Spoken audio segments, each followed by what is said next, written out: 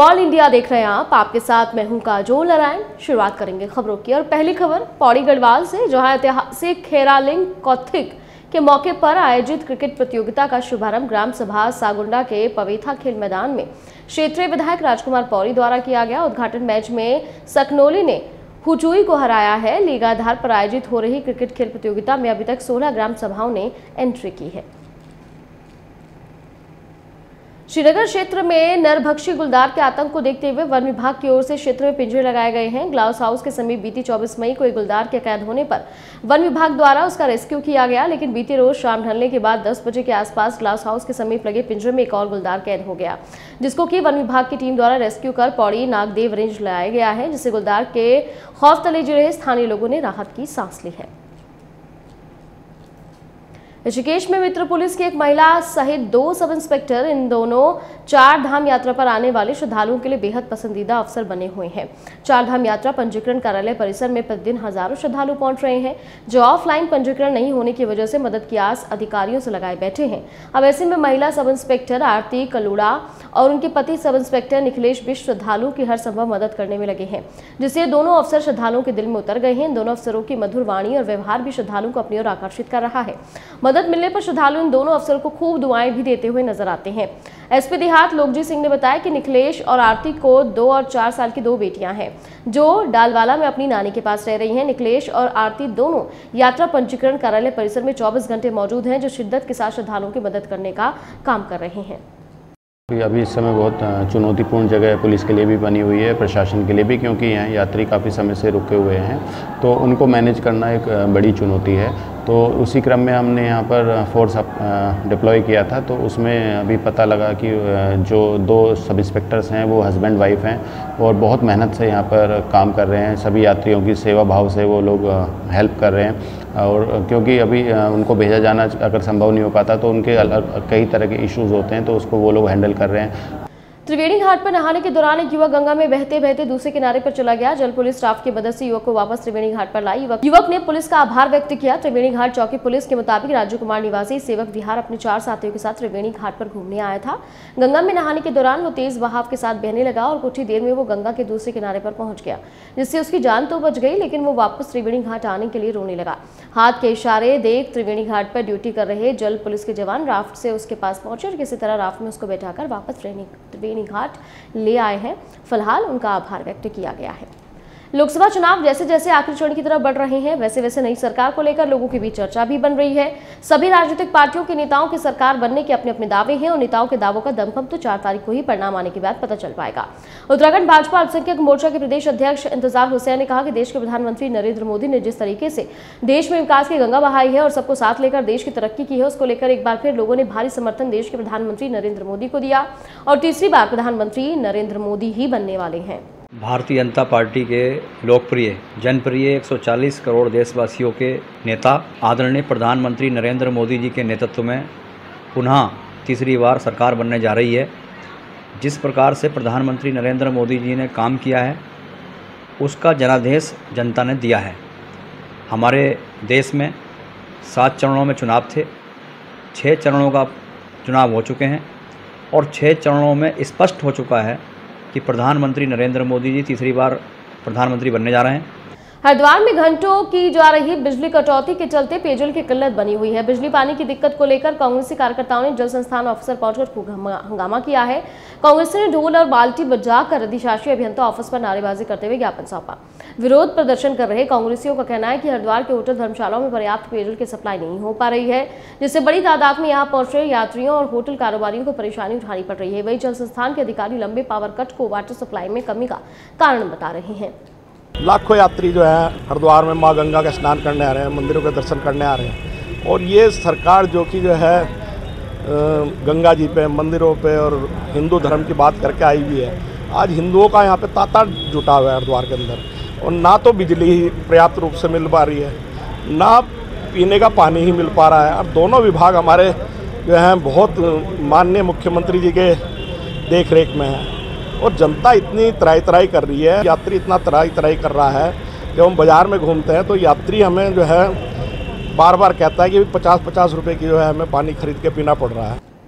चारधाम यात्रा के दौरान यातायात नियमों का उल्लंघन करने वाले लोगों के खिलाफ पुलिस ने सख्त रुख अख्तियार कर लिया है।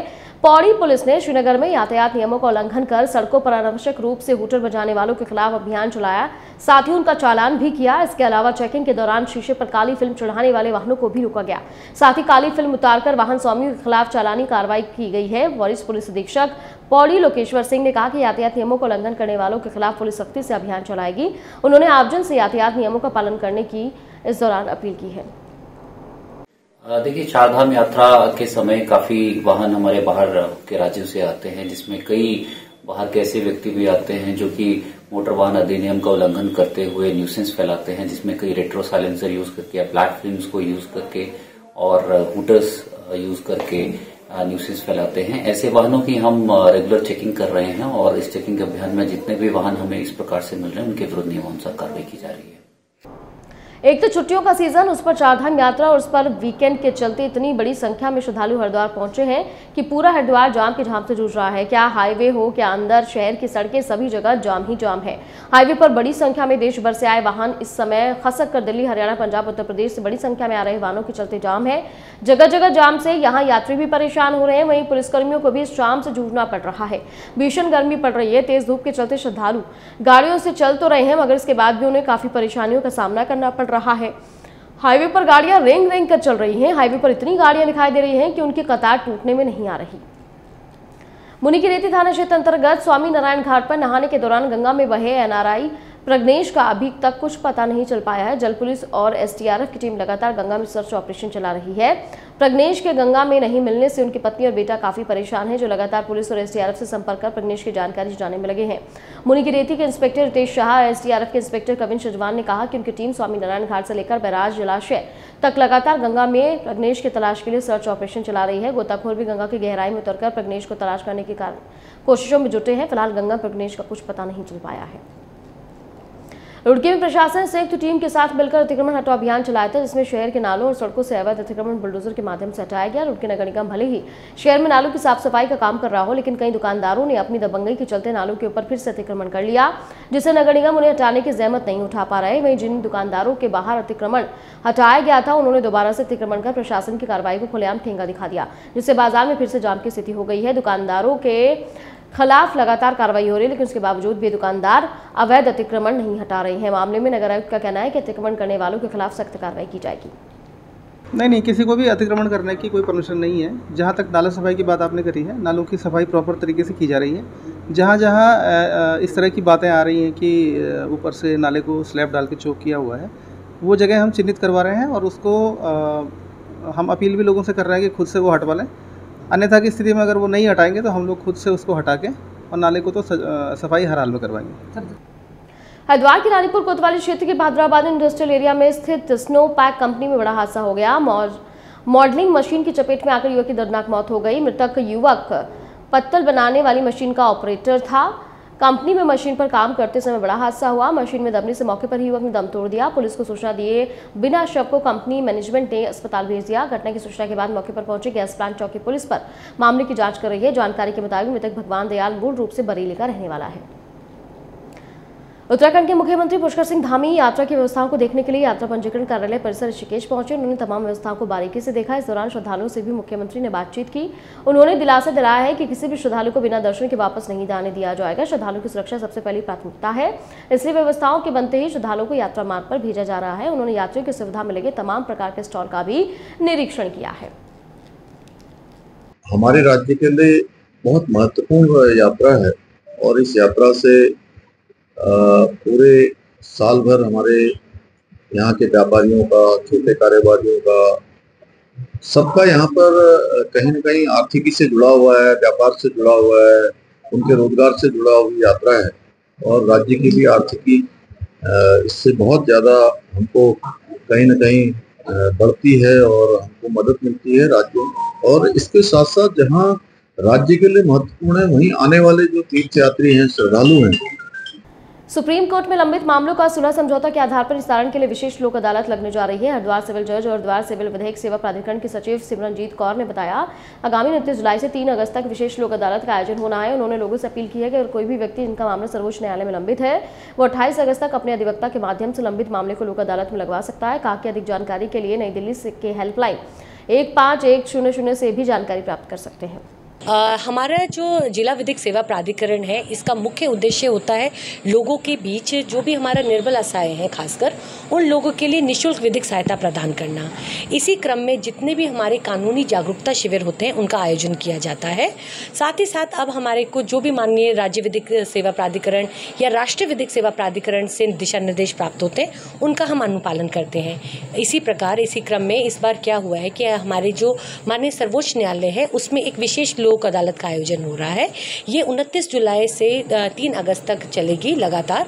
पुलिस एसडीआरएफ जिस व्यक्ति को दो साल पहले कार सहित नहर में तलाश करने के बाद उम्मीद छोड़ चुकी थी, उस व्यक्ति का शव कंकाल के रूप में कार सहित नहर से दो साल बाद बरामद किया गया है।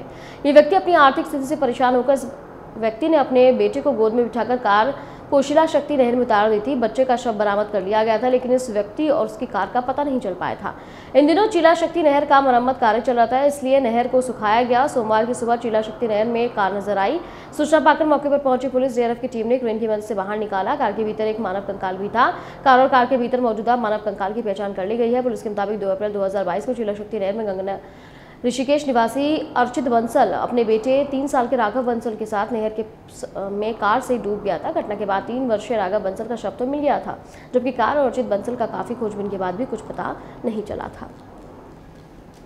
कानपुर के चर्चित इरफान सोलंकी आगजनी केस में एमपी एमएलए सेशन कोर्ट अपना फैसला सुना सकती है। कोर्ट ने महाराजगंज जेल से विधायक इरफान सोलंकी और अन्य आरोपियों को तलब किया है। बारह आरोपियों में से विधायक उनके भाई समेत पाँच आरोपियों पर फैसला सुनाया जा सकता है। सात आरोपियों की चार सीट बाद में आने से गवाही नहीं हो सकी। इरफान पर फैसले को लेकर कानपुर पुलिस ने अलर्ट घोषित कर दिया है। देखिए, हम लोगों ने सभी जगह विज़िट किया है और हमारी पूरी फोर्स लगी है। हमारे एसीपी हमारे एडीसीपी और बाकी फोर्स हमारी है और हमने इसको कई लेयर में फोर्स को लगाया है। और उम्मीद करते हैं कि जो सेफ्टी, सिक्योरिटी है, माननीय हाईकोर्ट के जो निर्देश हैं उस पर हम लोग खड़े उतरें और कैंपस को पूरे तरीके से चाक चौबंद किया गया है। फोर्स को मौके पे जाके ब्रीफ किया गया है कि कोई असामाजिक, कोई गैर कानूनी या कोई ऐसा तत्व न एंट्री करे जो सेफ्टी सिक्योरिटी को बाधक बने। रायबरेली में बेखौफ दबंगों ने माँ बाप की सहमति के बिना उनकी नाबालिग लड़की को घर के अंदर से उठाकर जबरन शादी रचा ली। पीड़ित माँ बाप दर दर की ठोकरें खाने को मजबूर है। मामला सलौन थाना क्षेत्र के अंतर्गत मिर्जापुर पूरे धमकी गाँव का है, जहाँ की रहने वाली छेदीलाल अपनी पत्नी के साथ खेत गए हुए थे। बगल के गाँव कमलीपुर के रहने वाला दबंग युवक धर्मेंद्र, उनके घर में घुसकर उनकी नाबालिग बेटी को जब उठा ले गया। पीड़ित माँ बाप जब अपनी बेटी को खोजते खोजते आरोपी धर्मेंद्र के घर पहुँचे तो उसने कहा कि मैं तुम्हारी बेटी से शादी चाली है उससे तुम्हारा कोई वास्ता नहीं है। माँ बाप को बेटी से मिलने नहीं दिया गया गाली गलौज करते हुए घर से भगा दिया गया। थाने में सुनवाई न होने से हताश पीड़ित माँ बाप ने एक बार फिर बेटी से मिलने के लिए पुलिस अधीक्षक कार्यालय पहुंचकर गुहार लगाई है। पूर्व विधायक का कांग्रेस महासचिव धीरेन्द्र प्रताप सिंह का ऑडियो वायरल। वर्मा बिरादरी को गाली देते हुए ऑडियो वायरल हुआ है। वायरल ऑडियो में धीरेन्द्र सिंह अपने एक समर्थक से कह रहे हैं गठबंधन प्रत्याशियों को समर्थन देने के बजाय बीजेपी प्रत्याशियों को समर्थन देने की कह रहे बाद वायरल ऑडियो में वरुण बिरादरी को भद्दी भद्दी गालियाँ दी जा रही है। वोटिंग की एक रात पहले हुई बातचीत का ऑडियो अब वायरल हो रहा है। हेलो हाँ विधायक जी नमस्ते। नमस्ते के भैया? दुखरन पांडे बोली से साहब? लगी महाराज क्या हाल अकेले हो और कोई है साथ है? नहीं नहीं अकेले हैं बताओ जाए ये बताओ हाँ हम लोग का करी? काबेक जाए काशी नहीं नहीं काशी जाओ आप वो बात कर तो ऐसा है आपका टिकट मिला नहीं है? और शिरोमणि आज तक हमने दरवाजे के है न समय सूर्य प्रकाश अग्रवाल और राधेश्याम प्रधान सबका छोड़े हैं। आप मेरी बात सुनिए मेरी हाँ। हम, हमारे जानिब से न कहिएगा। हाँ। देखिए एक बात आप जाने शिरोमणि अगर अमृत भी दे दे हाँ। तो वो काम थोड़े कर जो कोई ठगुरे बबने कहन जो है लज्जित हो पड़े। हम हम तो पहलगी आपका कहना हमेशा चाहिए था ना आपके सम्मान बना रहा है। तो इसीलिए तो, आज आए हैं बौरीवा संजय करियाती महतारी मर गई रहा। हाँ। वो मिले हैं पाँव पकड़े नहीं कहीं आशीर्वाद दूँ भी आशीर्वाद है और कोई बात नहीं कही नहीं हमसे। नहीं कुछ नहीं आप लोग सब साकेत मिश्रा शरीफ आदमी बस यही आपसे हम ये कुर्मी क्षेत्र पंडित अटल बिहारी क्षेत्र हो। हाँ। चंदभाल तिवारी क्षेत्र हो जो। है बिन्नू पाणे क्षेत्र बेटी जो कुर्मी राज करिए मानचू वह है तो हम कहें ना आखिरी है आज आपसे हाँ। बात करी। नहीं नहीं नहीं नहीं पूरा पूरा। तो ठीक है ये बूथ आपके साकेत मिश्रा पे जाई ठीक ठीक महाराज। आप क्या बिल्कुल दावा करी थे। ठीक ठीक महाराज। तो हम कहते आपसे समझ ली नहीं कहा कि हमसे नहीं समझो। गर्मी के बढ़ने के साथ ही ओवरलोडिंग की समस्या में भी इजाफा हो रहा है। भीषण गर्मी और ओवरलोडिंग के चलते विद्युत उपकेंद्र ट्रांसफार्मर तेज़ी के साथ हीट हो रहे हैं। जिनको ठंडा करने के लिए विद्युत संविदा कर्मी लाइनमैन जोखिम में ट्रांसफार्मर को ठंडा करने में जुटे हैं। हर आधे घंटे बाद ट्रांसफार्मर को किया जा रहा है कूलर की हवा और पानी से ठंडा। वायरल वीडियो पर जामू विद्युत उपकेंद्र के जेई पीसी कुशवाहा ने बताया कि ओवरलोडिंग के चलते ट्रांसफार्मर हीट हो रहे हैं, जिसके चलते ऐसा कार्य करना पड़ रहा है। ट्रांसफार्मर को बदलने के लिए करीब पाँच महीने पहले अधिकारियों के पास भेज दिया गया था लेटर लेकिन अभी तक विभाग की तरफ़ से कोई व्यवस्था नहीं की गई है। कानपुर ज़िले में इस समय आवारा कुत्तों के द्वारा हमलों की घटनाएँ लगातार बढ़ रही हैं। जहाँ कुछ महीने पहले विधुन इलाके में तो वहीं बीते दिनों गुजौनी आई ब्लॉक में कुत्ते के आतंक से कई लोग घायल हो चुके हैं। वहीं आज फिर देर रात गोविंद नगर के सीटीआई बस्ती में कुत्तों ने भाई बहन को अपना शिकार बना लिया। झुंड बनाकर हमला कर दिया। शोर सुनकर लोगों ने कुत्तों को भगाया, लेकिन तब तक एक बच्ची ने दम तोड़ दिया। वहीं दूसरा गंभीर रूप से घायल हो गया। अस्पताल में भर्ती, जहाँ आक्रोशित स्थानीय लोगों ने परिजनों के साथ सीटीआई पेट्रोल पंप के सामने शव रखकर सड़क जाम कर दिया। हंगामा करने लगे, वहीं पुलिस परिजनों के साथ लोगों को समझाने में जुटी थी। रायबरेली ज़िले की कानून व्यवस्था ध्वस्त हो गई है। ज़िले में आई अपराधों की बाढ़, बाइक सवार, बदमाशों ने सार्फा व्यवसायी से दिहाड़े की लाखों की लूट घटना को अंजाम देकर सभी बदमाश मौके से फरार हो गए। मामला सलोन कोतवाली क्षेत्र के ऊँचा रोड का है, जहाँ दो युवक बाइक से अमर ज्वेलर्स के यहाँ लॉकेट खरीदने के लिए आए थे। युवक ने बाईस हज़ार की लॉकेट खरीदी, उसके बाद जब दुकानदार लॉकेट निकालने के लिए हाथ दूसरी तरफ़ बढ़ाने के लिए उतरा तो सोने का डिब्बा नीचे रखा हुआ था। दोनों बदमाशों ने डिब्बे को उठाया बाइक लेकर मौके से फरार हो गए। सारी घटना सीसीटीवी कैमरे में कैद हो गई। पुलिस उनकी तलाश में जुटी है। गाजियाबाद की जीआरपी पुलिस ने गुमशुदगी के पिचासी फ़ोन के सफल अनावरण करते हुए फ़ोन मालिकों को सुपुर्द कर दिया। बरामद हुए फ़ोन की कीमत लगभग 17 लाख से ज़्यादा है। फ़ोन पाने के बाद लोगों में काफ़ी ज़्यादा खुशी है। आपको बता दें कि लोगों ने गाजियाबाद पुलिस में जीआरपी पुलिस का आभार व्यक्त किया। लोगों ने बताया कि हमने अपने फ़ोन पाने की उम्मीद छोड़ दी थी, जिसके बाद अचानक से तीन दिन पहले हमें फ़ोन आता है कि आप रविवार के दिन आकर अपना फ़ोन ले लीजिए। आपका फ़ोन मिल चुका है, जिसके बाद उनकी खुशी का ठिकाना नहीं था। जनवरी माह से लेके अब तक करीब 300 मोबाइल गुमशुदा हुए थे। उनमें से आज उस समय बड़ी, भारी सफलता मिली जीआरपी गाजियाबाद को, जब पिचासी मोबाइल डिफरेंट राज्यों से, विभिन्न राज्यों से, जैसे राजस्थान, पंजाब, महाराष्ट्र, मध्य प्रदेश, बिहार, इनसे जगह जगह से लोग जो चला रहे थे इन मोबाइल फ़ोनों को, उनसे या तो मंगवा लिए गए या पुलिस द्वारा जाके उनसे एकत्रित कर लिए गए। इन पिचासी मोबाइल फ़ोन की कीमत सब करीब सत्रह लाख रुपए है। आज इनके स्वामियों को बुलाया गया है। और उनके सपोर्ट ये फ़ोन किए जाएँगे। गाजियाबाद के विशाली सेक्टर एक के मैक्स अस्पताल के पास की झुग्गिया उसके आसपास के जंगली क्षेत्रों में करीब डेढ़ मिनट पर आग लगने की सूचना पर फायर वैशाली स्टेशन ने दमकल की तीन गाड़ियाँ मौके पर पहुँची और 15 से 20 मिनट में आग पर काबू पाते हुए झुग्गियों की ओर बढ़ने संभल से एक दर्दनाक खबर सामने आई। यहाँ भीषण गर्मी में तपस्या कर रहे एक साधु की मौत हो गई। साधु के अनुष्ठान के लिए आग जलाकर तपस्या कर रहे थे। इस दौरान अचानक उनकी तबियत बिगड़ गई। उन्हें अस्पताल ले जाने के दौरान ही उन्होंने दम तोड़ दिया। साधु कमले वाले पागल बाबा के नाम से मशहूर थे। संबल के केला देवी इलाके में विश्व शांति और नशा मुक्ति के लिए तपस्या कर रहे थे। साधु की मौत। सत्तर साल के पागल बाबा अपने चारों तरफ़ आग जलाकर तपस्या कर रहे थे। भीषण गर्मी में तबियत खराब होने की वजह से उनकी मौत हो गई। संबल के उपजिलाधिकारी विनय कुमार मिश्र ने रविवार को एक बयान में बताया कि अमेठी के रहने वाले कमली वाले पागल बाबा के नाम से मशहूर बाबा केला देवी थाना क्षेत्र के बेनीपुर में पंचांगनी तपस्या कर रहे थे। इस घटना के बाद एसडीएम ने प्रेस नोट जारी किया जिसमें कहा गया कि देश भर में तेईस बरसात तपस्या कर चुके थे। सुबह दस बजे करीब मौत हुई। परिवार को भी सूचना दे दी गई है। भीषण गर्मी में तपस्या करने के दौरान संत की मौत पर कांग्रेस भड़क गई है। कहा कि प्रशासन की अनुमति से प्रचंड गर्मी में पागल बाबा तपस्या कर रहे थे। कांग्रेस नेता डॉक्टर अमित अठावल ने संत की मौत के लिए पुलिस प्रशासन को जिम्मेदार ठहरा दिया। प्रेस कॉन्फ्रेंस कर पुलिस प्रशासन पर गंभीर आरोप लगाया। संत की मौत पर प्रदेश सरकार ने जाँच कर कार्रवाई की मांग की। बीते छब्बीस मई को संत पागल बाबा की मौत हुई। कैला देवी थाना अंतर्गत बेनीपुर चक में। अमेठी जनपद के रहने वाले एक संत ने एक यहाँ पे आगों की लपटों के बीच में बैठकर तपस्या करने का अनुमति एसडीएम संभल से मांगी। जबकि संभल का टेम्परेचर इस समय 40 से 47 डिग्री तक है, यानी कि एक तरह से तरह से आग संभल के माहौल, मौसम में बरस रही है। ऐसे में एसडीएम ने उस वृद्ध संत की भावनाओं को दृष्टिगत रखते हुए और उनके व्यवहारिकता को नजरअंदाज करते हुए अनुमति दे दी और उस अनुमति का परिणाम हुआ कि उस संत की वहाँ पर मृत्यु हो गई। और इसी के साथ फ़िलहाल खबरों में इतना ही। आप बने रहिए न्यूज़ वर्ल्ड इंडिया के साथ।